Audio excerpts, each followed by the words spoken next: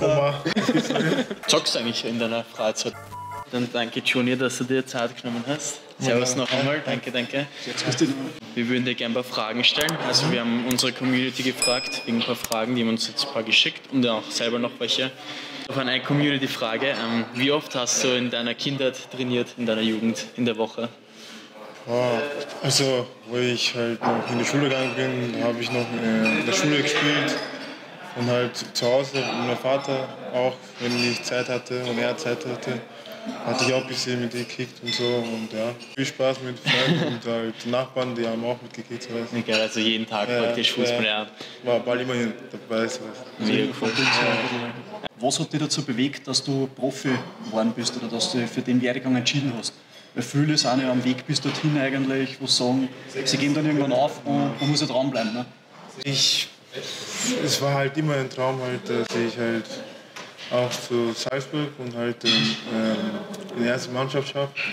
Und das hat schon begonnen bei also in der Akademie, wo ich in der Akademie war und so. Und ja, es ist bei mir echt gut gelaufen dort und ich habe mich auch gut gefühlt und ähm, war auch oft im Stadion und habe gesehen, wie geil es im Stadion zu spielen ist. Und da will ich auch. Und das kann ich schaffen mit, äh, mit so jugendlichen Spielern. Und ja, dann habe ich das als Ziel genommen. Und natürlich, wenn man ein Ziel hat, will man das schaffen, dann Sicher verfolgt das oder auch folgt, ja genau. Warst du eigentlich davor schon in der Akademie? Wenn ja, in welcher? Oder? Ja, Red Bull Akademie. Okay. Das war die erste Akademie. Also die erste, Ja. okay. Mhm. Ich war halt bei GRK und da war nicht so eine Akademie. Da war ich mit 14 oder so und dann bin ich hergekommen. Da war ich die ganze in Akademie, Liefering. Mhm. Ja, Liefering, ja. Und dann halt äh, erste. Ich Ja. war dazwischen halt äh, in der Schweiz. Ah. So lange ausgeliehen. Und da bin ich wieder hergekommen. Mega, mega. Hast du irgendeine spe eine spezielle Routine? Ich bete halt äh, in der Früh und dann, wenn ich auch in den Stadion äh, ra- rausgehe und so. Und ähm, natürlich, ähm, zuerst ziehe ich äh, die äh, linke Schuhe und dann äh, zweit, äh, zweiten rechten. Rechten zum Beispiel. Und sonst, Das hat sich halt irgendwann einmal so angefangen ja, und ist gut gegangen. Ne? ja, genau, Die genau. Tore, die Tore sind kommen und Ja, dann genau. Genau, genau. dann hat's passt. Ne? Ja, top. wer hat dich dazu bewegt, Fußballprofi zu werden? Ja, als Kind äh, Alaba und halt so, so Neymar auch. Und jetzt ist halt, ich schaue ich so viel von Neymar, wie, wie er Spaß am Fußball hat und so und am Platz und was er mit dem Ball macht und so. Und so technisch und so echt brutal. Und auf meiner Position halt Lewandowski. Ah, okay, geil. Der Leo, gutes Vorbild. Voll. Schießt von überall Tore. Das stimmt, ja. Da ist eine Maschine. Was würdest du jungen Spielern, sag ich mal, so wie es du deinen Werdegang gemacht hast, ans Herz legen? Ja, dass man nicht so schnell aufgeben soll, ist halt, äh, man denkt sich so, das schafft man nicht und so und halt irgendwie kommen so schlechte Nachrichten von der Seite und so, und das soll man nicht annehmen und so und einfach positiv bleiben und halt, wenn du ein Ziel hast, dass du darauf arbeiten, also arbeiten musst, weißt du, damit du es kriegst. Also konsequent Ja, durchziehst genau. und egal was man sagt, halt dann auch. Ja, und am Ende, wenn alle wieder zurückkommen und halt, so, wow, der hat es geschafft und so, dann wirst du dich belohnen und das. Nur auf sich selber hören und, Ja, und genau. nicht auf die ganzen Hater und Ja, sagen genau. so, hey, du kannst das nicht, sondern einfach wirklich konsequent durchziehen. Wenn du schon beide gehst Genau, und dann genau. am Leibe siehst und so. Genau. Dann hast du es geschafft. erreicht, du machst ja für dich, nicht für die anderen, oder? Dann hast du es geschafft. Nein, es ist auf jeden Fall gut, dass man Ja, da voll. kann. Cooler Tipp, ja. Also wahrscheinlich viele Junge auch dabei bei uns in der Community, also die interessiert das sicher. Bei uns ist leider schon die Zeit vorbei. Viele Verletzungen auch. Aber, ist scheiße halt. aber dafür geht man gerne zuschauen. Und, und Was war so dein schönstes Erlebnis bei generell, also nicht nur bei Salzburg, auch so generell im Leben, irgendein Tor oder irgendwas, wo du dich gerne zurückerinnerst? Ja, gegen Bayern, das erste Champions League, was ein Traum für mich war. Und ja, ich habe mich extrem gefreut. Und von da ist halt eh immer gut gegangen. Und äh, Hattrick aus der Wien war auch geil für mich. Und es war mein erster Hattrick in der Bundesliga. Und was noch? Youth League war auch ein geiles Erlebnis. Genau. Da, wo wir so weit gekommen sind. Und ja, So. Ja, es ist überhaupt eine geile Erfahrung, wenn du dann gegen Surreal spielst, Ja, wahrscheinlich genau, Benfica, Ja. Dortmund, ich glaube Bayern auch. genau. Ja, genau. Paris hat sie auch gehabt. ja. Ja, es ist schon, schon genial. Also, Das ist schon was drin. Liverpool und so ja, genial. Ja, Das ist schon cool. Das ist echt gut. Am Training, es gibt da immer einen, der was Sport kennt. Wer ist das bei euch? Was in die Richtung? Gibt es da irgendjemanden, der was sagt? Das ist da. Oma, eindeutig Oma. Oma. Und du merkst schon, wenn, wenn jemand laut ist und er rauskommt, du weißt schon, das ist er. Okay. Das ist, Ja, immer so ein bisschen mit, den, mit Verspätung. Halt. Ja, genial.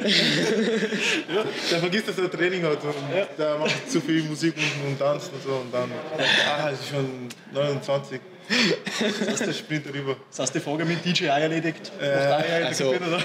Oma Soleil. Ist halt, ja, Noah oder äh, Omar oder ich oder Mao ist halt so abwechselnd. Weil wer als erster da ist, macht halt DJ. Gegen wen würdest du noch gerne spielen jetzt in deiner Fußballkarriere? Weißt du deinen Lieblingsgegner, gegen den du mal messen würdest? Ja, also gegen Messi und so. Und ähm, Van Dijk. Von Dijk, ja. Ich, ich glaube, ich habe auch ein, einmal gegen Van Dijk gespielt, aber ich will nochmal eine Revanche haben. und ähm, ja, und halt natürlich gegen Neymar. Das stimmt, Paris. Der nächstes Jahr Champions League wahrscheinlich. War geil, ja. Gruppe A mit Paris, Salzburg. da bin ich wieder im das Stadion war's. standen. Das wäre geil, Das war's. Cool aus. Was würdest du anders machen, wenn du könntest? Oder ist alles so perfekt gerannt, wie es gerannt ist? Oder ist da Ja, irgendwas, was du verändern möchtest? nee, ist halt, ich bleib dran und will einfach weitermachen, und damit ich halt auch weit komme und halt weitere Ziele erreichen kann. Ja, Dass du halt einfach deine Ziele verfolgst und dran bleibst, dass es halt so genau. rennt, wie du das dann auch vorhast. Was sind so deine Lieblingsserien eigentlich, so als Serien? Fußballprofi? Oder schaust du über Ich, Serien ich, eigentlich? ich, sag, ich schaue schon sehr aber so Anime. Ah, geil. Ja. Ich auch. Schaust du One Piece? One Piece bin ich jetzt dabei, weil liebe One Piece. One Piece sagen alle, ist halt so gut und so. Ja, extrem Ich habe Naruto schon fertig ausgeschaut. Äh, Naruto, ja, ja. ist auch mörderisch, aber One Piece ist noch mal viel besser. Viel, viel Ja, besser. viel ich bin noch am Anfang, ist am Anfang so ein bisschen noch langweilig, man checkt Genau, halt ein bisschen ja. noch und dann kommt halt anscheinend. Genau, die alten Folgen, na, es ist Ich bin schon. dran, ich bin noch dran. Ja, wahrscheinlich wegen Karim, oder? Äh, ist halt, ja, Karim hat schon mich schon länger waren, schau, schau, schau. Mhm. Ich habe nicht, ich habe Naruto zweimal noch mal angeschaut, weil es so geil war. Und jetzt, und Oko als Brian, Ja. er, hat mir dann, er hat mich dann gezwungen, dass ich anschaue. weil er hat mich schon so oft gesagt, schau, schau, schau. Ich sage, ja, ich schau. Ja. Ich habe noch immer. Jetzt hat er Ja, Gott sei Dank, also verpasst was. Also ich schaue auch extrem viel Animes. Schaust du sonst noch irgendwas? Also von Animes her jetzt irgendwelche anderen oder dabei nur Naruto? Ähm, es war noch eins mit Basketball, ich weiß nicht, wie das heißt. Ah ja, auch auf Netflix, Also genau. auf Ja, ja. Netflix und es gibt eins mit Fußball auch, aber das ist auf Dieses Blue Lock? Crunch. Ähm, ich glaube, ich glaube, Blue Lock? Ja, das, Ja, der ist der beste Anime. Also wirklich, der ist krass.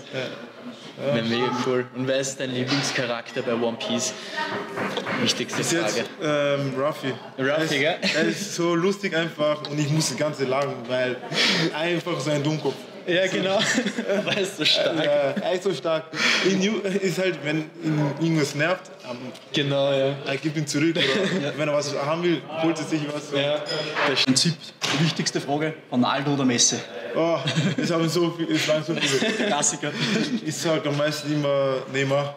Weil, Neymar. Weil halt die beiden sind halt für mich extrem starke Spieler und ist halt, einer ist äh, richtig, er hat voll den Technik und so und einer ist voll, der arbeitet, äh, arbeitet auch voll hart und so. Und keine Ahnung, ich bin für beide, so, weißt du, deswegen sage ich ja immer Neymar. Ja, ich glaube, das ist eh die beste Entscheidung. Ja, weil finde ich, ich bin ja auch der Meinung, man, ich bin ein riesen Ronaldo-Fan, aber ich finde, man kann einfach beide nicht vergleichen. Vergleichen Das sind beide individuelle ja, Spielertypen, ja. Genau. Aber Neymar ist eh, ich sag mal, er tut mir leid, dass er so im Schatten steht von beiden, aber er ist ein krasser Ja, Spieler, Spieler, dem ich den extrem. gerne zuschaue. Also, ja. Technisch auf jeden Fall komplett stark. Also das Ja, genau. Genau, genau. Fall. ja, Mega Richtung. März sind wir wieder verletzt. Ne? Immer wenn seine, Jede Berührung fliegt da oben, so, du. Aber, ja. genau, wenn seine Schwester Geburtstag hat und dann ist er da. 11. März? Ja, 11. März. Zockst du eigentlich in deiner Freizeit oder so? Ja, jetzt äh, ähm, zeige ich auch FIFA und so. FIFA? Ja, aber so mit Freunden so online, weißt du. Und am meisten zeige ich halt Fortnite. Fortnite, egal. Äh, Das spielen wir auch manchmal. Und Schön. Call of Duty Warzone. Ja, ich habe früher oft mit Warzone gespielt, so mit Freunden und so, aber dann habe ich aufgehört, weil es irgendwie, keine Ahnung, nicht so gebockt hat. Aber jetzt, das heißt, ich soll nicht Warzone, Warzone spielen, sondern das, andere, glaube ich. Ist viel geiler. Ich glaube. Ähm, Diese Rebirth? Wiederbelebung? Ich glaube, das, ja, das Ah, Chic Island. ja, genau. Und Ja. du meinst, das ist viel geiler als Warzone. Ja, stimmt, ja. Macht mehr Spaß. Ja. Wirklich mehr Spaß. Ja. Das ist wirklich geil. Wir können mal zusammen zocken, wenn du willst. Also, klar. wir spielen fast jeden Tag. Echt? Du zahlst, Okay, gerne, klar. gerne. Kannst du Auf schreiben. Twitch und so weiter kann man dann schauen. Ja, voll. Klar, klar, also hin und wieder streamen, ja. Wie, wie hast du, also wenn man dich adden darf, Ja, sicher, sicher. Äh, ansonsten schreibe ich dir mal auf Instagram oder ja, so, schreib mir auf du Instagram. willst. Schreibe ich dir mal eine Nachricht. Ja, sonst ähm, haben wir noch, kennst du This or That? Das Format, This or That, also da, dies oder das. Da würden wir dir kurz Fragen stellen. Halt so Ausruf, so weißt du. Ja, genau, genau. Such einen Anfang, Phil, also wenn du willst. Ja, Ronaldo und Messi haben wir eh schon geklärt. genau. Äh, Tor zum Ausgleich in der 90. Minute oder ins, äh, einen Assist machen zum Siegestreffer. Tor in den 90. Minuten. Zum Ausgleich. Zum Ausgleich. Achso, zum Ausgleich oder einen Siegestreffer auflegen. Genau. Assist zum Siegestreffer. Sieger, Siegerstreffer. Es ist, Also es ist zum Siegestreffer, ja. Egal. Äh, Hauptsache ein Siegen. Mannschaftsspieler. Ja, ja. genau. Zum Siegen. Real Madrid oder Barcelona? Boah. Eigentlich Real, aber Barcelona ist auch eine gute Mannschaft. Ich sag Real. Ja, es ist schwierig mit David Alaba und äh, Neymar bei Barcelona. Ja, das ist Schwieriger Ding, schwieriger Ablauf. Was sagst du zum Spiel gestern? Hast du das angeschaut? Oder? Ja, schon, schon. Ja. Ich war ein paar Mal weg, aber ich habe oft schon angeschaut. Aber Einmal zu Real Madrid und dann gewinnt Barcelona. Ja. Einmal zu Real Madrid und dann gewinnt Barcelona. weil er untreu war. Ich sag's dir, weil er untreu war. Er ist ein Barcelona-Fan und er hat bei Tipico gewettet auf ähm, Real Madrid. also, Barcelona so viele Spieler verletzt aber- Nein. Ich sogar als Real Madrid-Fan habe gesagt, die werden äh, verlieren gegen Ach so, verlieren. Barcelona. Ja, weil sie haben immer, Barcelona spielt eigentlich so stark immer gegen Real und Real tut sich extrem schwer gegen Barcelona, egal wie, wie schlecht er steht. Instagram oder TikTok? TikTok, weil TikTok sind so viele lustige Sachen. Unglaublich. Ich mag auch TikTok. Wie ist die Motivation? TikTok? Da muss ich dich auch kurz fragen, kennst du den, wer ist der Majestät Thomas? Nochmal? Majestät König Thomas, Thomas, König König Thomas, Thomas. kennst du Ja, den? ja, ich habe Der mit diesen Tumdance. Ja, mega geil. Oft auf meiner For YouTube-Page. Keine Show. Keine Show, Freddy. So, Fitnesscenter nach dem Training oder Netflix und Chill? Also nach dem Training. Ja, genau. Also bist du eher so, der sagt so, ja, ich bin jetzt so wie, sag ich mal, Ronaldo, ich muss jetzt noch ein bisschen pumpen gehen, weil Training war, war jetzt nicht so, war schon gut, aber ich, ich habe noch Power oder eher zu Hause Netflix und Chill. Ja, ja. Ist schon so, dass halt, wenn Training so intensiv war, dann schon Netflix und Chill. Okay. Und wenn es halt äh, wenig war, dann mache ich schon extra noch dazu. Okay. Selber noch ein bisschen was dazu. und- Ja, klar. Ja, dass man aufs Ding kommt. Ne? Wechsel in eine schlechtere Liga oder zum Erzfeind? Oh, Das sind so Dings, sind so tricky Dings. Ja, Rivalen ist mir wurscht, egal wenn jemand äh, Hate hat. und Hate. Ich will einfach spielen und halt mich beweisen, weißt du? Das heißt, noch besser werden und lieber in der Ja. gleichen Liga bleiben. Ne? Noch besser werden, Das ist genau. der, der richtige Ansatz eigentlich. Ja. Machst du gerne Urlaub am Strand oder fahrst du gerne in die Berge rauf?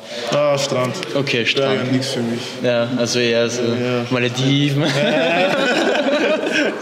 Auf ganz entspannt. Genau, genau, genau. Ja, das wäre sowas für mich. Genau, und dann haben wir noch Playstation oder Xbox. Playstation. Ja, ganz Ich glaube, die klar. Sache ist momentan, Ja, die ist glaube ich, komplett erledigt. Perfekt. Genau. Cool.